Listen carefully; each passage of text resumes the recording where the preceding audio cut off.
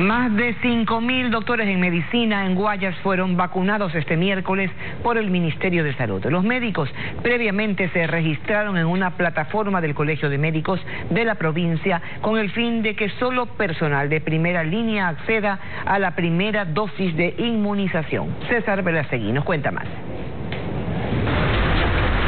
Son algunos de los 5.061 médicos que trabajan en hospitales y clínicas de Guayas, quienes esta mañana fueron inmunizados como parte del protocolo de vacunación contra COVID-19.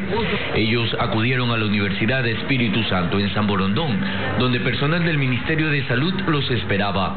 Este proceso se realizó conjuntamente con el Colegio de Médicos del Guayas, con el fin de garantizar que los beneficiarios sean personal exclusivo de primera línea.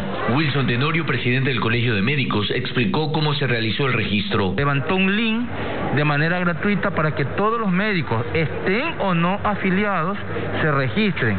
Nosotros hemos tamizado y hemos verificado que tengan el registro de la CENESID. La vacunación se dio por fases para evitar aglomeraciones o que los médicos tengan que esperar. Primero fueron atendidos los jubilados y quienes presentan algún tipo de enfermedad preexistente.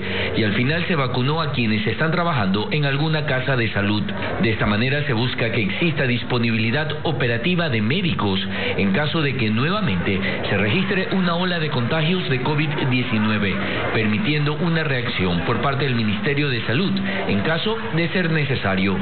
Ahora el proceso es fortalecerlas, fortalecerlas para que este plan, a medida que se lleguen las vacunas, se haga este, en forma masiva. Problema que ha sido la vacunación de una manera un poco lenta en la anterior administración del Ministerio de Salud Pública. Y advierten que en las últimas semanas se ha incrementado el número de casos de COVID que llegan a los hospitales, por lo que piden a la ciudadanía salir de sus casas solo cuando sea necesario.